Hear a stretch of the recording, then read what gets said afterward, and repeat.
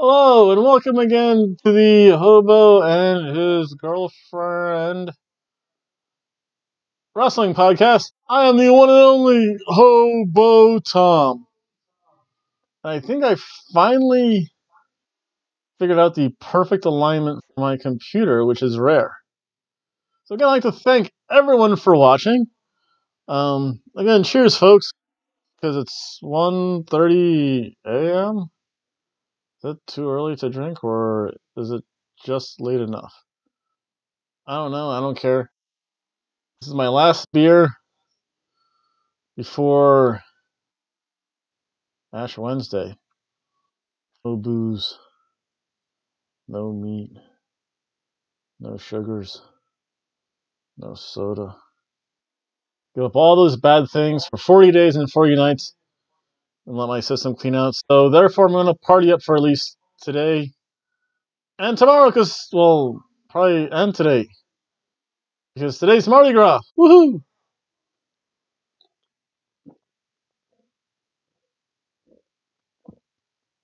So I have to finish off whatever booze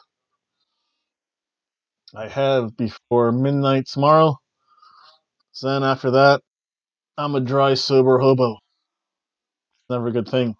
But I'm not here to talk about that. I'll talk a little bit about some programming notes later, but I'm here to talk about Monday Night Raw. This was a weird show.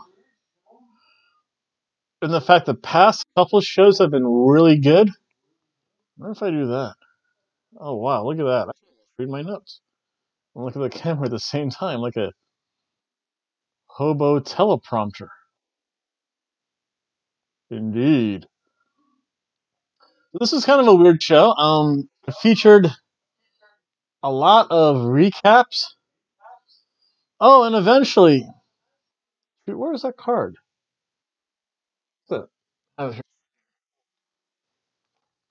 Oh, here it is. I'm be plugging this again. I haven't plugged this in a while. Eventually coming to Daytona Beach, we're gonna have Southern Pro Lucha Libre.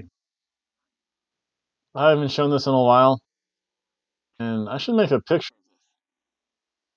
So yeah, because actually, well, I'll, I'll get to that when I get into my program. So hopefully, Southern Pro Lucha Libre is coming soon to the Daytona Beach area, even if it's out in Deltona. I would actually request a day off from work, assuming I still have work.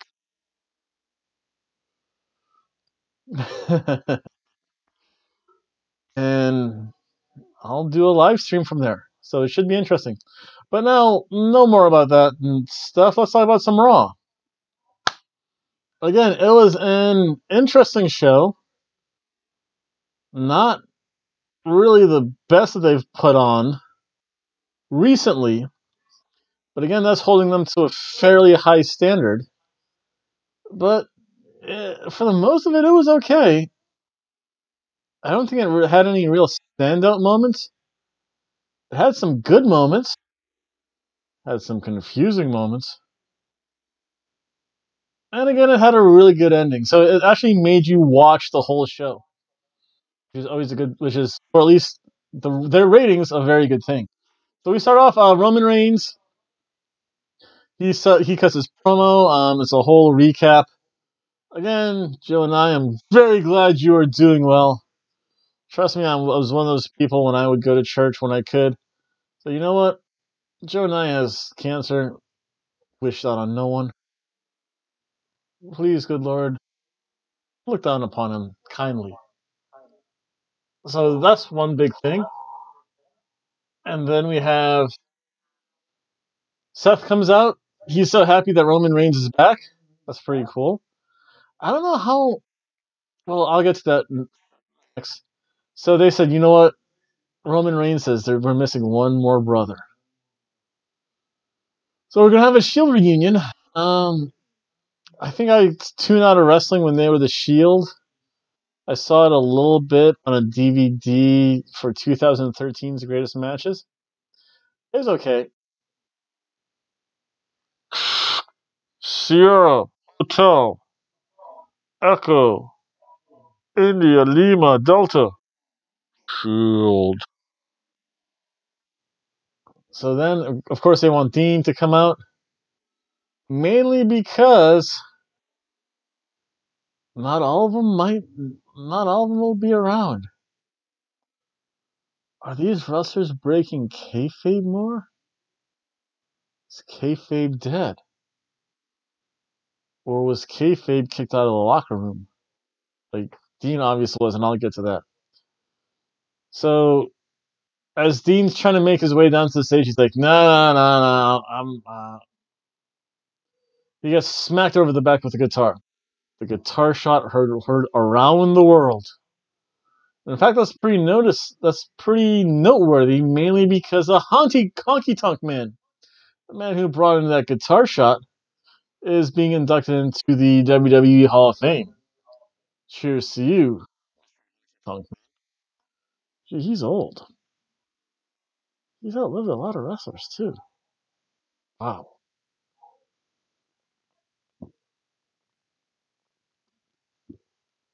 But I guess I guess that Elvis impersonator gimmick's pretty safe with him though. So then um you start our match. The six man tag match, Finn Balor, Kurt Angle, and Braun Strowman versus Drew McIntyre, Bobby Lashley, and Baron Corbin.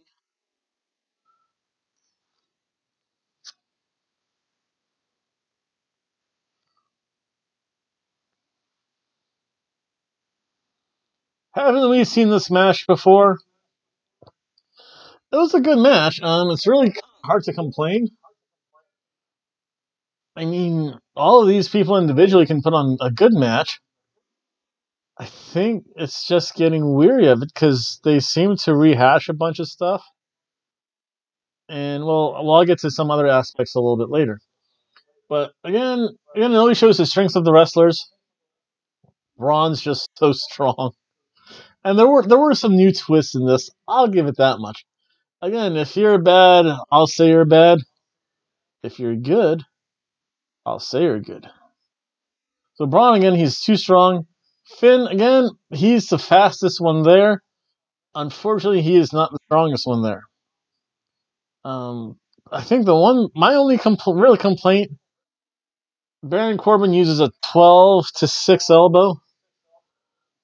And I know one. In the past, he's done the tricep to the head, which isn't going to really bust you open. But he's been going after like the shoulders and stuff, and just doesn't look that as impactful. Sure, it probably hurts. Um, they isolated Finn for a while. Again, Finn can still fly. You did that uh, top rope suicide of tope or, or suicido, whatever they the top rope flippy thing.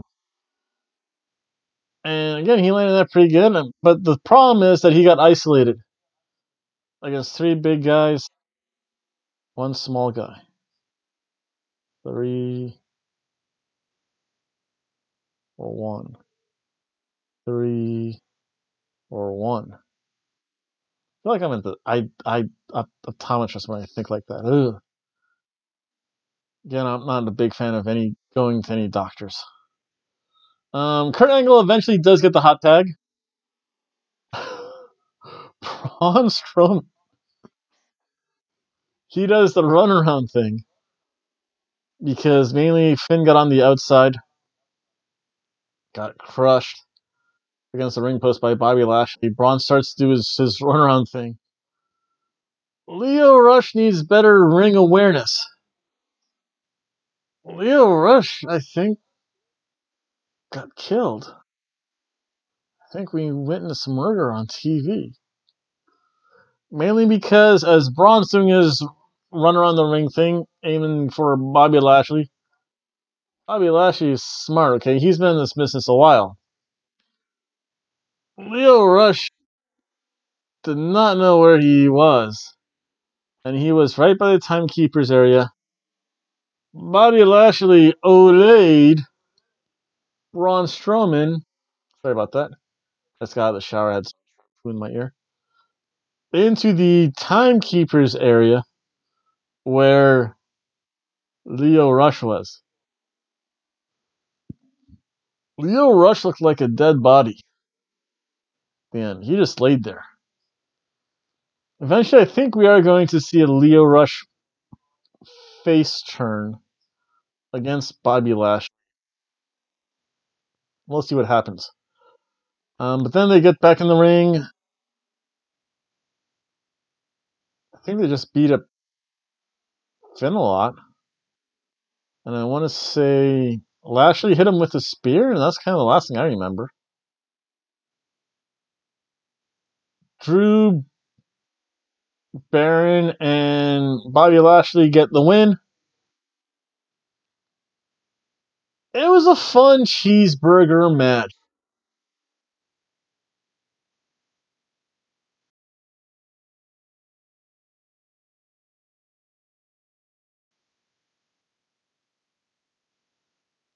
So hopefully something happens Fastlane. Because again it's kinda getting kinda boring. Then you have a quick heavy machinery promo. Hey Tucky Otis Dozovic is still the best. Tucker Knight's pretty good. Otis Dozovic definitely has all the charisma in that group. And then they show the loose the losers locker room for tag the tag team division. You have the Ascension, Hawkins and Ryder, and the B team. And he's just like, we can't let them step in here. It's like, dude, you guys are the loser locker room. I mean, you're literally named the B team. Okay, not the A team, even though there are copyrights and legal stuff involved with that. You're still the B team. So the next match we have we have Natalya versus Ruby Riott. Wait a second. That's right. I thought they already blew off their feud at was it Extreme Rules or TLC? It was sometime like a few months ago though. Ruby Riott's changing though. She did something to her hair.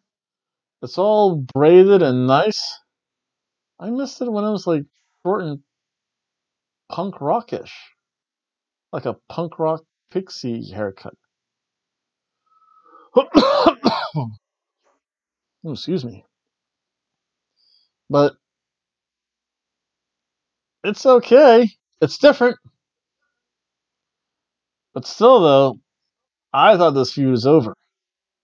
And this was a weird match. It was.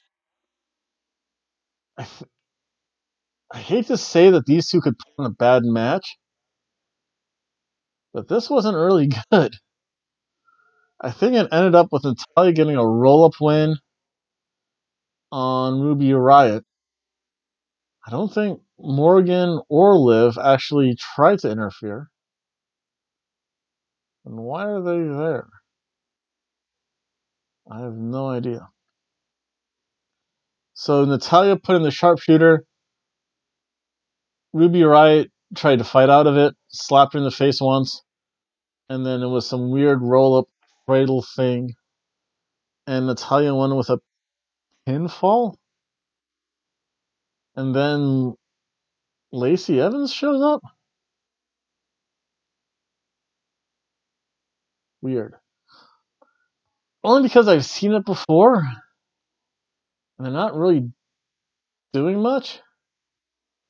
This match is really a ham sandwich.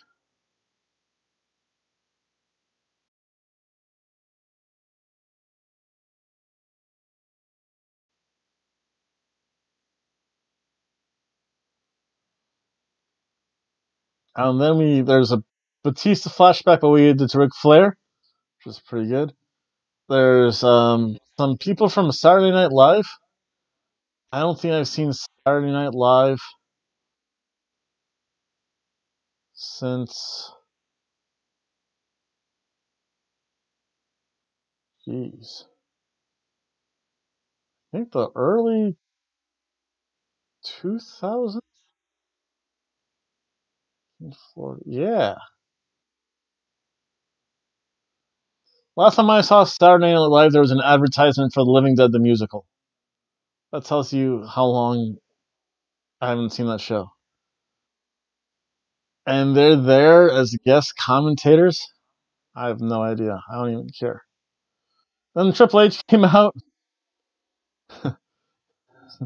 Batista's gives like an iPhone promo, runs down the Philly crowd. He's so good. Uh, Triple H takes kayfabe. Wow. Kayfabe's really going the way of the dodo bird. Ooh, that's a good title. I'll remember that one. Um, but then again, he said, I wanted to celebrate Richard Fliehr. And it's like, wait a second. That's Ric Flair. Oh, wait. Okay, whatever. Um, so again, it was a pretty good, good promo. Again, he accepts his challenge. And then there's another recap of the Ronda, and um, again, this show is very recap heavy, which is not something I like. Then you have a Stephanie McMahon promo. Then Roman Reigns finds Dean in like the bowels of the arena. Did Dean get kicked out of the locker room? Yeah, that or does Dean like rooms? I don't know, you never know. And then we, we have a gauntlet match. And wow, this was a short gauntlet match, probably the shortest gauntlet match in a while. So short, if I wanted to finish this beer and watch the match, the match would be over before I finish this amazingly tall can of beer. Get that.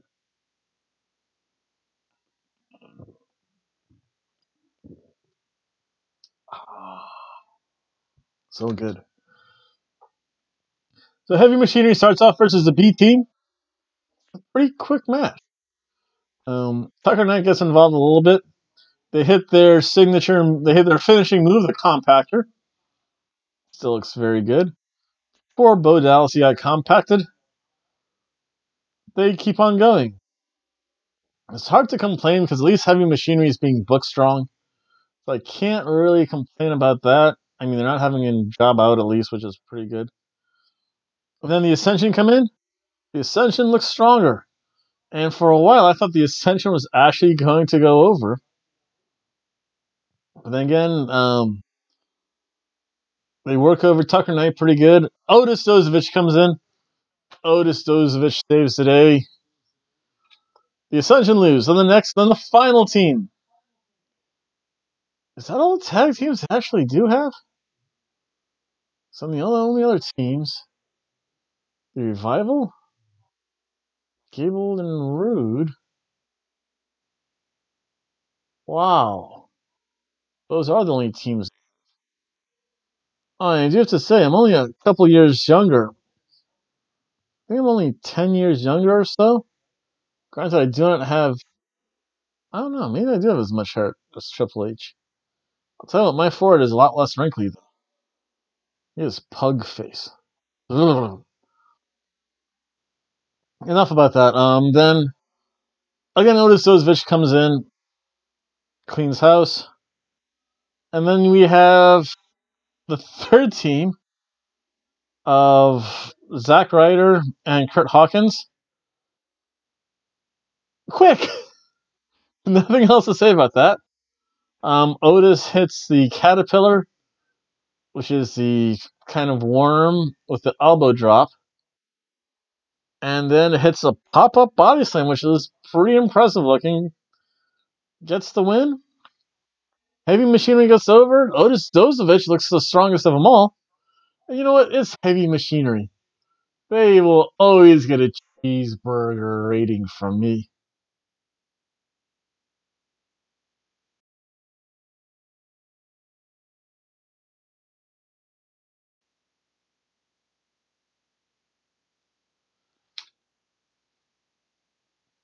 And now we have Charly Caruso.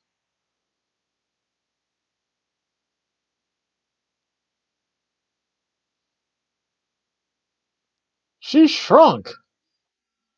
Either that or Charlotte grew. I'll have to say, Charlotte was a good almost head and a half taller than Charlie. And again, this is just a Charlotte Flair promo. And it was okay. Nothing really too spectacular to talk about there.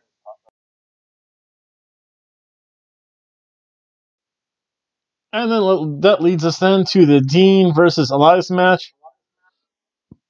Again, Dean gets interrupted by Seth, and Seth kind of has made like an old fashioned fort out of sound crates or whatever moving crates they use. He made a fort out of it. All that you have to know. Seth's not really happy with Dean. Dean's like, I could care less. Leave me alone. I want to be in my own little fort. You don't know the secret password. Get out.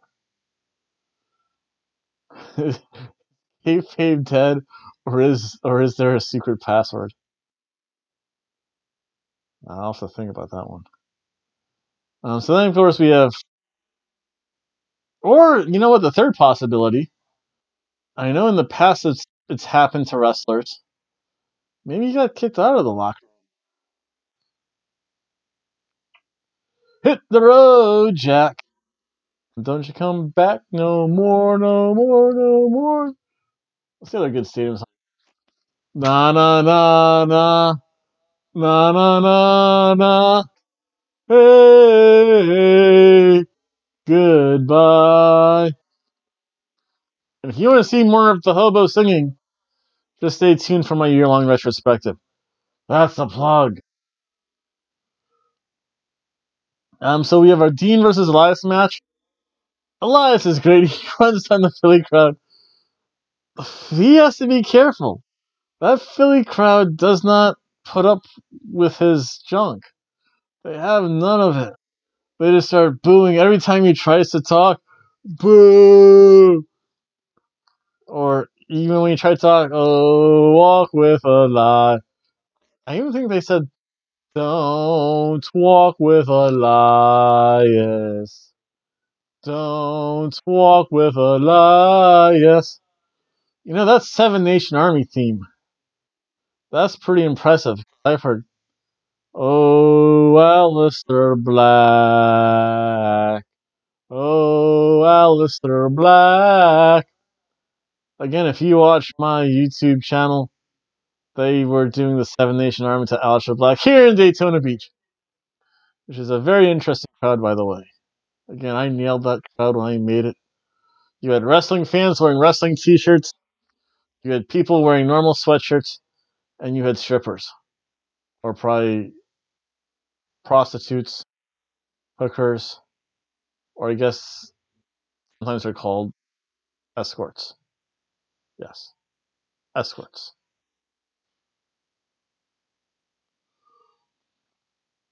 And Philly crowd was having none of it. Um, Dean Ambrose comes in. Both men are decide to wrestle comfy. They decide to wrestle in jeans. Good for them. Jeans are actually pretty comfy. Especially, I guess, if you're wrestling, if you just wear some like boxer briefs, probably even more comfy that way. Ooh, it's a good wrestling combination. Just jeans and boxer, and like shoes, wrestling shoes. I'll talk about shoes in a little bit. I do not know a lot about shoes, but I saw something impressive though. So again, Elias, again, he's the strong of the two. Dean Ambrose, he's getting a lot of good offense in. Um, again, very much very classic Dean Ambrose way he gets offense. Very unpredictable, kind of harkening back to his days as WWE champion. And figure out hard to figure out what he's going to do next. Oh, um, I'll I'll get to that next. I actually have side notes. And again, Elias is just too strong. Elias does the Undertaker rope walk thing, which I don't know if he was gifted that by Undertaker or if he just decided to use it in his repertoire. Um, Dean, however, lost the match. Got hit with a drift away.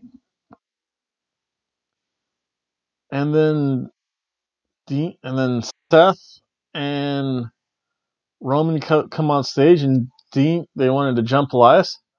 Dean just leaves through the crowd. And honestly, that whole match was a cheeseburger. It was it wasn't bad. It was good. It was entertaining. It was a good cheeseburger match.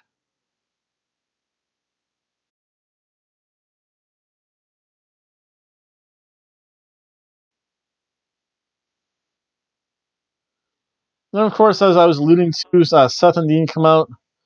Um, they beat up Elias a little bit. Then Drew Baron, uh, they chase him out of the ring. They send Hall for a little bit, trying to egg Dean to get back in. Dean's like, "Yeah, I'm not, not dealing with any of that anymore." Then Baron Corbin, Drew, Drew McIntyre, and Bobby Lashley come out. So it's a three-on-two situation. They they start just getting beat up. Eventually, Dean does get in the ring. You see the the Shield fist bump thing. Yay! Yay, Shield. Um, they're going to have a match. It's going to be last Shield reunion match at Fastlane. This Fastlane, minus probably the women's match and the Daniel Bryan Kevin Owens match, with the exception of those two, this kind of feels like a throwaway, just get out of the way pay per view. Should be only about 10 bucks, not freaking 40. And then, of course, we have um and, and the next nomination to the WWE Hall of Fame is Torrie Wilson. I think she was there for a decent stint, so I honestly thought Molly Holly was going to get in. Molly Holly really probably deserves to get more in the Hall of Fame than Torrie Wilson. My opinion. And it's probably a bad opinion of that. Then you have uh, a Becky promo. Is Becky that short, or did Charly grow? Never understand that. And our next match, we have Sasha Banks versus Tamina. Everyone's changing their hair up. Sasha's hair looked a lighter purplish color. It got long too. I think it reaches like the small of her back. Has to be awkward. I know in high school, I think when we had to sit in the bleachers, like in like the true bleachers bleachers section of the bleachers, I think some girl did have long hair, and I kind of pinched it a few times because your knees would hit the chairs in front of you.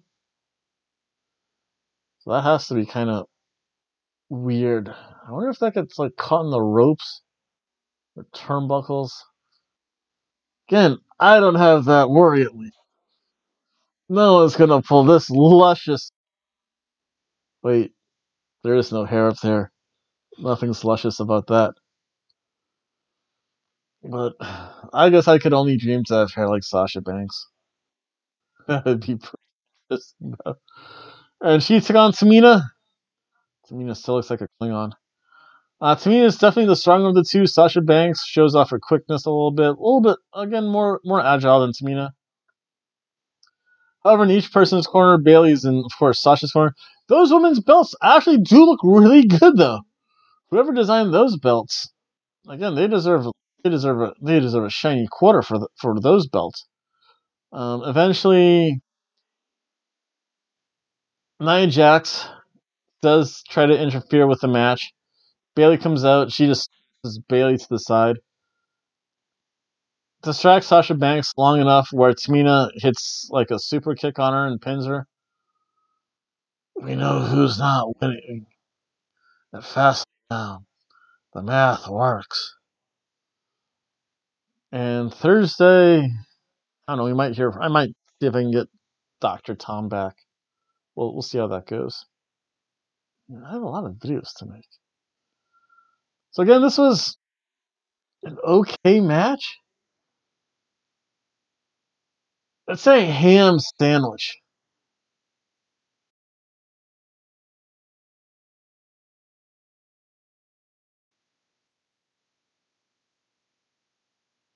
It's hard to say it was good. Hard to say it was bad. It's just a ham sandwich.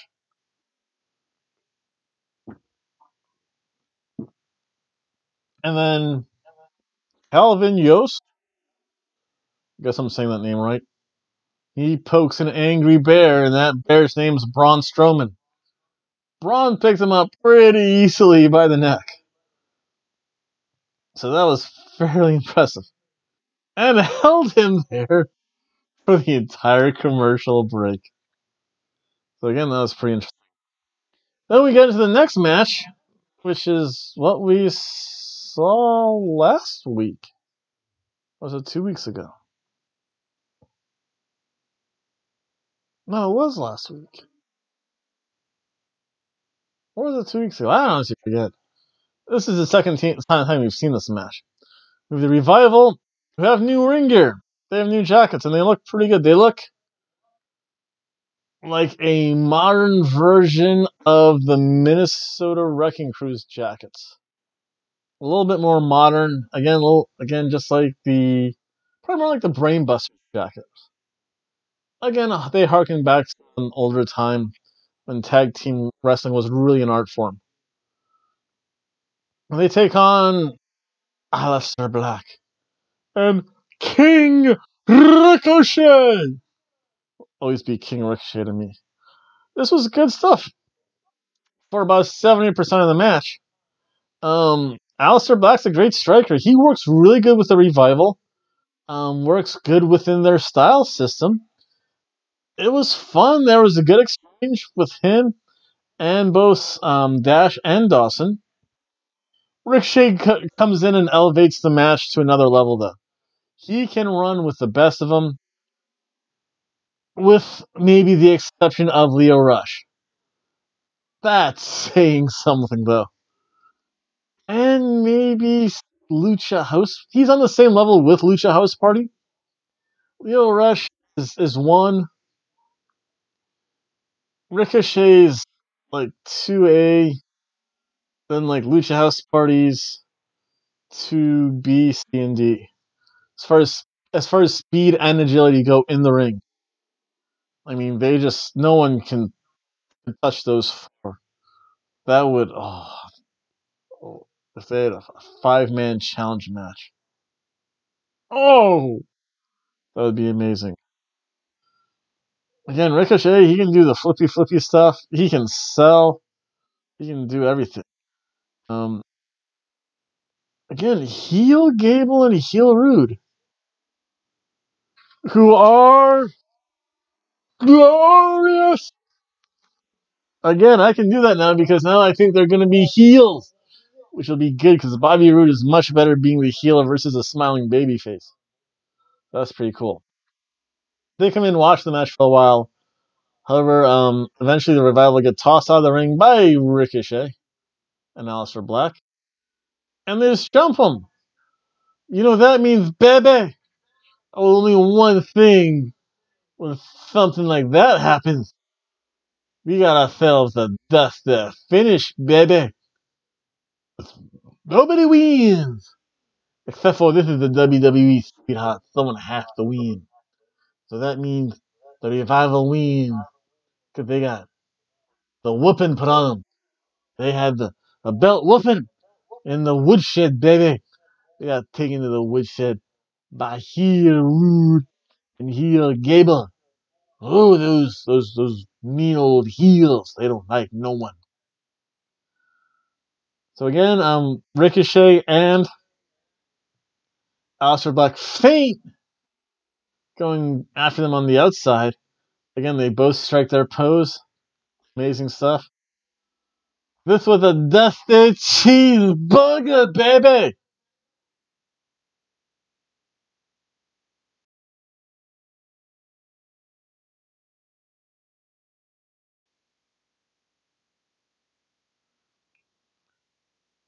I can understand they lost, but it's a really super protected loss.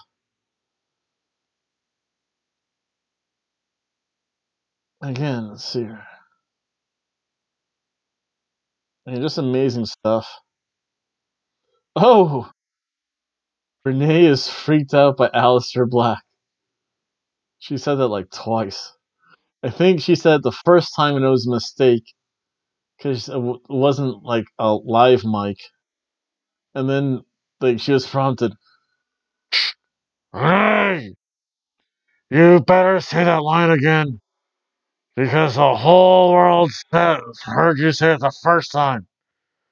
Pay attention to your script, or you'll be fired. like your husband, Dean Ambrose. You'll have to work. Oh, wow. I don't know what I did to my thumb. It just like freaking froze up. I was like clawing. Renee, you'll be working back in Pro Wrestling Guerrilla or it's Stampede Wrestling. Oh, I did do something. Um, I don't even know what. Getting old, folks. Getting old sucks. So again, that was pretty cool. Then we have uh, Becky Lynch, Charlotte Flair in the ring. Stephanie McMahon calls them both out. Becky has to sign a hold harmless agreement. She just kind of limps in the ring. It's kind of like contract signing. Again, it's going to be Charlotte Flair versus Becky Lynch for what's supposed to be the vacated Women's Championship. However, that's not the case. Ronda Rousey comes back. Says, "What are you talking about, Steph? Don't make me smack you in the mouth. I never vacated my title. I just wanted to fight Becky." So, to hold harmless agreement. So the WWE is no longer responsible for Becky's injuries. She cannot sue them. I guess pro wrestlers can do that. Um, heel Ronda comes out, just starts to beat Becky down. I hate. She did make some good points though. Um, not so much in their Twitter war. Again, don't break kayfabe that much. Although I do wonder if she if Becky signed Becky Lynch or Rebecca Quinn. That's a breaking kayfabe for you folks. So again, heel Ronda comes up. He's like, I hate it when you do Becky chants. I gave my heart and soul, and all you do is chant, for Becky. Becky, Becky, Becky. No, chant for Ronda. You loved it when I was breaking people, and then Becky shows up. I'm gonna break Becky's arms. Or something like that. She just said she just hated the Becky chants when I would be in the ring. Makes sense. Whenever they would do the Becky chants, she always looked confused. She's like, why are they cheering for her? They're supposed to be cheering for me. Well, I don't want your fan adoration anymore. Then she just beats down Becky. Charlotte, being the smart heel, says, Hey, I have to face her Sunday anyway. Go to town on her. He's your job for numero uno. And that was Raw. Not necessarily a bad show. Oh, and in the end, Stephanie gave some convoluted thing to Charly. Again, either Stephanie shrunk or Charly grew. I don't know. I think that was just like like they re- didn't realize they had two more minutes of airtime. So that was kind of a toss away segment. Overall, it was an okay Raw. It hasn't been as bad as it was in the past. Hasn't been as good, however, as it's been in recent days. So now it's time for me to get to that part of the show where I tell you a little bit about the programming for this week. So again, I'd like to thank everyone that has just watched my Raw review. Again, you can always feel free to comment, leave an email. You can like, share, subscribe, or you can even dislike if you so choose to. If you leave your name and dislike, I have a special something for you. If you leave your name, I also have a very special something for you. Um, so again, we just got finished with the Raw recap. Tomorrow, Mardi Gras. I'm going to party and therefore I'm going to finish off my beer before I start to sober up.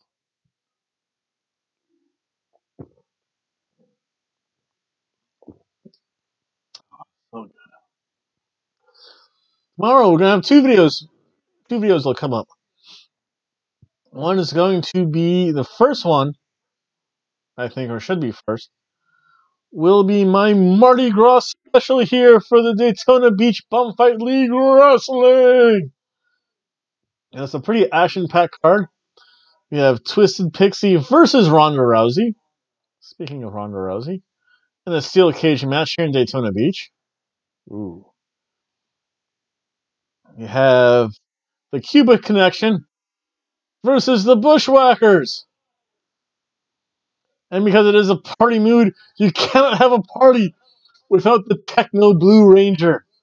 And as he faces on the man who hates all parties, Corporate Tom. He's just gonna tell you bunch of bums and hookers in the crowd, get back to work. You have a unique cruiserweight, always underweight match, and Liam Keller, Crazy Liam, Aiden Awesome, and Taj take on Buddy Murphy, Kalisto, and Enzo Amore, with the stipulation being the winner gets a shot at the always underweight championship belt. So that will be some interesting dynamics. Then special match. We have a Hell in a Cell.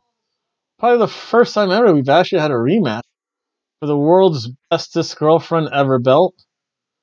Currently held by Mandy Rose. And as she takes on Gigi Heather and Hell in a Cell. That should be interesting. I wonder how City of Daytona ever approved any of these matches. Well, they did have an Inferno match last time. So you never know. And then the main event for the Under the Bridge Championship, is a ladder match. Hobo Tom versus John Cena, who actually held the Under the Bridge Championship belt. Wow. Versus Diamond Diamondback Jack Maverick versus El Vagabundo dos Hobo. That's going to be a ladder match. So that should also be interesting. On and then later Tuesday night, probably Wednesday morningish, it'll be my SmackDown review. Thursday or pro- probably Thursday, Thursday night, I'll probably have my predictions for fast lanes. Then Sunday will be my Fastlane live streaming show. Wow. So that's a lot of wrestling. The following week, I think it's just two shows. And then I hope to get to Sanford for NXT on the 21st and back to Daytona Beach on the 28th. So we'll see what happens. Again, thank you guys. Have a good night. Bye.